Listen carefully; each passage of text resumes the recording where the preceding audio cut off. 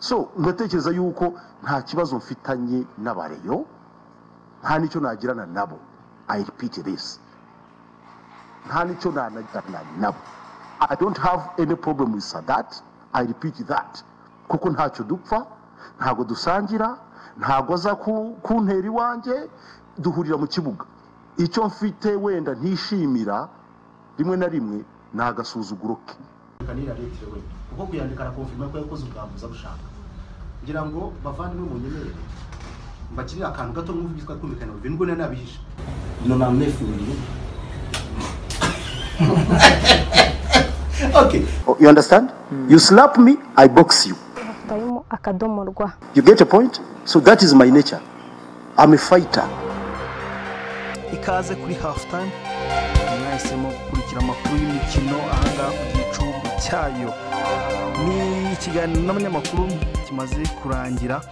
Ah, perezida wa gasogi ashyize ibintu byose hasi abyerekanye ko bimeze ndetse n'amajwi ajya ku mugaragaro y'ikiganiro yagiranye n'umuzamu kwizera olivier. Muraza kwisobanurira byinshi byinshi kuko amajwi ndayafite kuko amajwi yaba ari mutoza yaba ari amajwi ya perezida yaba ari amajwi ya kwizera byose byose bikaba byamaze gushyirwa hanze cyangwa byose byashyizwe hasi kugira ngo buri muntu wese yitoranyirize. Ibyo ashaka itangazamakuru ribitangaze nyuma yaho kenisi we agiye kujya mu nkiko ndetse iki cyaha cyangwa iri kosa rikomeye uyu musore yakoze abihanirwe n'amategeko cyane yuko ah, kenisi avuga yuko ibi ngibi ari ibyo uyu musore yapanze yapanze kandi akaba amwiciye imibare itandukanye kuko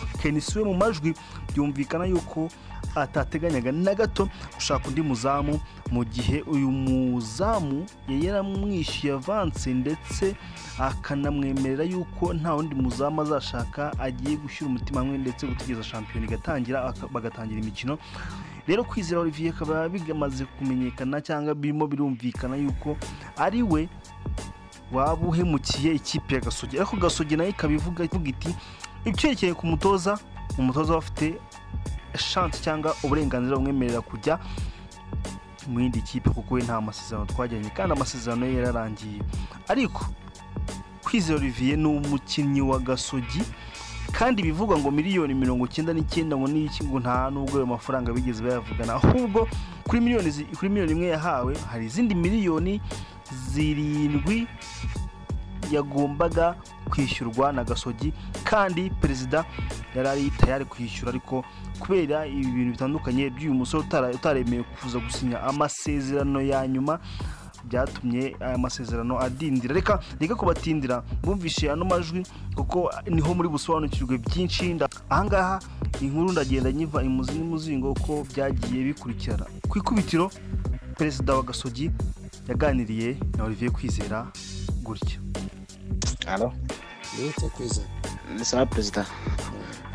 Sorry nari ndi mu myitozo, ndi mu myitozo. Eh, mbonye wari wampamagaye ariko Yego, nari naguhamagaye. yego Eh, nari nguhamagaye nyine nabonye invitation. Eh, ariko ejo naragutegereje ndakubura Oya nanze namubwiye ko nayifata kubera ko nsanzwe nzi ko n'ubusanzwe umamagara. No ariko uko biri kose kwizera reka tuba abantu b'abagabo. Yes. niba umuntu aguhamagara mukumvikana ukamfata nk'aho ndi imbwa nkajya kugutegereza ubwo se utekereza ko ari umwana ugushuka? Oya ntabwo ariko nabifashe perezida. no reka twumvikane. Yes. wowe twavuganye ibintu turabyemeranya Sibyo? ku munsi wo kubishyira mu bikorwa twumvikana aho duhurira. Nyuma yaho ndaguhamagara urancurika. Nyuma yaho ubwira koci ngo, ngo, ngo twananiwe kumvikana kandi twarumvikanye. Nuse wabonaga ngende umwana wo kwirirwa ukinisha. Oya coach coach namubwiye ko hari ibintu bitarumvikana neza. icyo tutumvikanye n'iki kwizera? Uva nkubwire. Kwizera reka mbikubwire nta n'umuntu muri aya makipe ushobora kuguha kontra y'umwaka umwe akakwishyura miliyoni umunani akaguha umushahara w'ibihumbi magana inani. Twarabyumvikanye tubishyira ku murongo. Urambwira uti ndanakubwira ntizana konti y'amafaranga yagukirireho uti buretse hari ibintu nifuza ko amafaranga yanjye nyashoramo urangije abandi ukababwira ngo ndimo ndavugana n'abandi wabwiye koci ngo why should I get this and that? Kwizera ntabwo ndi umubebe harimo akadomo rwa. Usome neza usome neza ntuza naguhaye nguha miliyoni yanjye urebe iriya ntuza testimoni icyo yashingiye ku byo wambwiye uti ngewe nta kipe nakinira hano mu rwanda keretse gasogi ntasohotse. Ndakubeshya naguciye mu ijambo icyo impamvu nabivuga ni uko numvaga ko hari amakipe ari kuma ibiri hejuru y'ibyo uri kuma erega reka twumvikane kwizera. Ikibazo ntabwo ari icyo ngicyo kuko ikibazo ni icy'abantu bumvikanye sibyo? Yes kuko ntabwo ntabwo ari mu kunshuka. Yari ibyo ngibyo mba narifatiye n'abandi bazamu barahari. Oya ntabwo ari ugushuka ahubwo ni uko ibyo twumvikanye perezida nyuma yaho nabonye hari ofure nyuma ibya nyuma yaho njye ntibindeba kwizera. Njye n'ibyo twumvikanye nkawe nk'umugabo turanabyemeranya. Ibyo niba waragiye nyuma yaho ukanga urugero rwa hafi. Nturebe uyu mwana twazanye w'umwataka yes. Halftime akadomo rwanda. Apeni yamuhaga miliyoni cumi n'eshanu. Ayo twamuhaye ntabwo ngiye kuyavuga ariko kuko yari yebyemeye byarangiye nta kibazo kirimo aho ngaho. Ariko kuza ukambwira ubu se u- ejo bundi mu buzima habamo kuba umugabo no gufata shuwa sibyo? Rwose sinjya nkunda ibintu bya burage nta nubwo njya nakina rwose. Njye nabyumvire gusa ndakwihorera genda ukora ibyo ukora igihe uzumva watekanye uzanshaka kuri hafutayimu akadomo ntabwo rwa ntabwo ariyo mpamvu perezida ahubwo ni uko iki kibazo kubera ko numvaga ko hari iziri ku ibiri hejuru. Ibyo ntabwo bindeba kwizera. Nzi cyo nuko twumvikanye nkaguha n'amafaranga yanjye. Niba baguha na miliyari ibyo birabareba. Mwaje mamfu ariko perezida kumvikana neza njye nagufashe nk'umuntu w'umugabo. Mu buzima bwawe ntabwo nigeze ngutereta nk'umuntu utari umuntu w'umugabo. Yes. Naguhaye icyubahiro umuntu wese agomba mugenzi we. Ariko niba ushobora kunsuzugura none se perezida umugabo ashobora guhinduka ariko ntabwo ashobora guhinduka ku ijambo yavuze. Perezida ariko na- naraguhindutse nari kuba mfite aho nasinye. Ariko kugeza ubu ntaho nasinye kubera ko nzi ko hari ibyo ngomba kumvikana nawe kubera ko nahandi ibyo wasinye ibyo rwose kwizera ntabwo ibyo twumvikanye ndanabyubahiriza ni uko nguko bimeze rwose nakubwije ukuri turabyemeranya. Ahubwo icyambabaje ni ni ukwirirwa unyicaje kuri ferwafa mu kuri Oya, kw'imana biriya bintu byarambabaje kurusha n'ibindi byose bibaho. Oya njye perezida icyo icyo navuze kubyo sasa kwizera reka nkubwire. Rwose turi abantu b'abagabo sibyo? Yes. Njye ndahari. Wowe niba wumva ibyo ushaka si- sinzi ukumva ko twarafashe umwanya tukicara nkaba narakoze ubusa nkaguha avanse yanjye nkaho nakoraga ubusa. Ukareba ibihe turimo uko bimeze mu frere ibyo ngibyo kumbwira ngo sadate ngo yarakubwiye ngo araguha miliyoni ngo niba ari icyenda n'igice ngo aguhahe ebyiri ibyo ntabwo bindeba. Nta nubwo nshaka no kubijyamo. Icyo nzi cyo ndahari ibyo twemeranyije birahari rwose iyo nza kugira igihe cyose uzumva wabyuka saa saba z'ijoro amafaranga yawe asigaye uzampa konti yawe nyagushyiraho miliyoni zirindwi. Nta bindi. Perezida njye ikintu ikintu navuze. Rwose twizere ko amubwire. Nta n'umuzamu wundi nzashaka ni we muzamu wacu kuko warabinyemereye mfata n'iyo komitimenti rwose kugira ngo n'ubutaha uzajya umuntu uri sire erega ni cyo ugiye kuzabica mu rwego futubareri mufata ibintu byose nk'aho ari burake perezida ntabwo ari blague ahubwo ari na nari kuba mfite aho nasinye ariko sinshobora kuhasinya kubera ko nzi ko hari icyo nkubwiye kugeza uno munsi uko byagenda kose. Twabidiringa ukundi twazica tukanegosiya ibyo twemeranyije byo tugomba kubishyira mu bikorwa ibindi bikaza ko sindi umuntu ugoye. Ibindi bikaza nyuma ariko ibyo twumvikanyeho amperesipe ni biriya ikibazo ikibazo cyabaye ni kimwe cyonyine. Twemeranyije ibintu ariko ndakubwira ati kubyo uri kuma nta kibazo ndabyemera pe. Ariko ndeka nanjye ngende mbitekerezo ndaza gusubiza hasi kwizera. Waravuye uvuga uti nta kibazo. Uti ejo tuzagenda mfate amafaranga yanjye. Tuva hariya. Ibintu byose tubyemerera kugeza uno munsi rero reka nkubwire kwizera wicara u- uko- niwicara byose ubitekereze byose ko ngewe mu buzima bwawe sinjya mbeshya nkora purani zanjye kandi muri purani zanjye ni we wazishe. Narakubajije uravuga uti nta kibazo. Ibyo rero ngewe rwose icara utekereze numva umutima wawe icyo kubwira Mm. uzampamagara perezida njye ikibazo uko nashaka guhamagara. Ngo uhamagaye nyine kubera ko nzi ko ah, ah, harimo ikintu tugomba gukemura kikava mu nzira bikarangira tugasinyana cyangwa mu No- none urashaka njye nakubwiye amafaranga nariya rwose sinzakubwira ngo zakubwira ibintu ngo utegereze ngo umwaka utaha ngo ibitaha. No si uko nguko ngiye nkora. Ariko perezida wibuke ko na- narakubwiye ati nanjye ya- ibyo bintu wambaye ndabyemera ariko reka ngende mbitekerezo numve ko hari ikintu nagusaba. Kuko uri umubyeyi ntabwo nabura ikintu nagusaba wamfasha kuri hafutayimu akadomo rwa ngewe ntabwo nanze kuba nanze ibyo wamaye wowe mbwira ofure uko ubitekereza wenda ibyo bindi wenda ni byo twakaye uze kubimbwira icara ubitekerezo bimbwire biri ku oya ngewe numvaga ko bi- ndabizi ngo numvaga ko ngomba kubikubwira igihe cyose. Ntacyo reka ejo tuzavugane ufite n'ikibazo ndanarwaye. Eh, turandya ubwo tuvugane. Nuko na- nanze kwanga ko kwitaba ndavuga reka nkwitaba.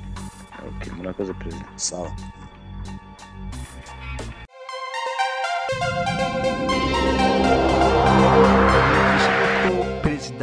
Yari yifitiye ikibazo ariko ntiyavugana byinshi n'uyu muzamu. Ariko nyuma yaho haje kumvikana ko uyu musore yasinye ikipe ya Sport ndetse biravugwa yuko biravugwa yuko ah, Rayon Sport n'ubundi yamuhaga byinshi biruta ibyo ikipe ya Gasogi yamuhaga. Ariko ugasanga ni miliyoni imwe barenzaho ni miliyoni ku mafaranga bari bumuhereze mu ntoki mu gihe andi azayafata nyuma. Ariko agashaka gucika ikipe ya Gasogi muri ubu buryo. Ibi rero nyuma yaho habonetse ibaruwa ivuga ko yishyuza gasogi miliyoni mirongo icyenda n'icyenda.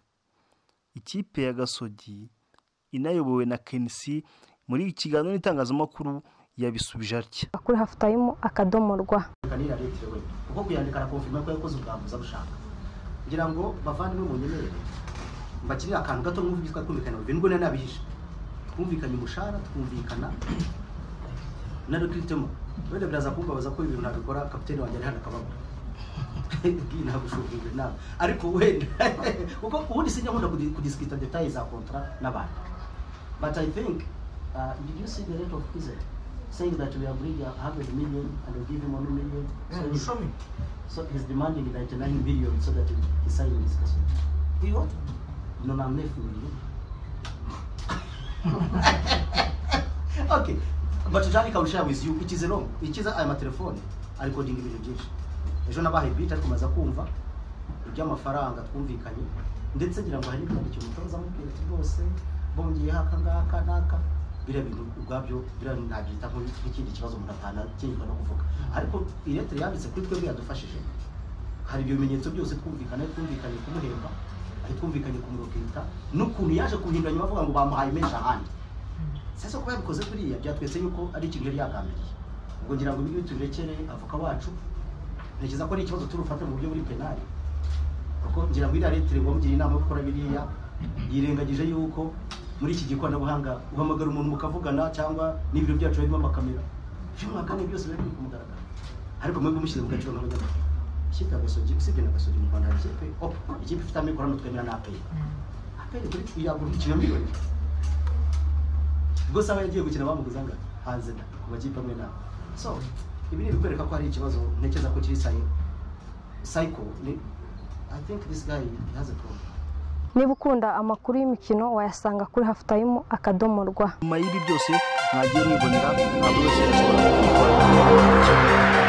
cyangwa igisobanuro cy'ibyo mwabonye muri rusange ni urugamba cyangwa ni ikibazo kigiye gukomereza mu kuburana kuko ba nyir'ubwite ubwabo kwicara hasi bagasasa inzobe biragoranye cyane. Ushobora kuba ukunda amakuru y'imikino agezweho ushobora kuyasanga kuri hafu tayime akadomo rwa.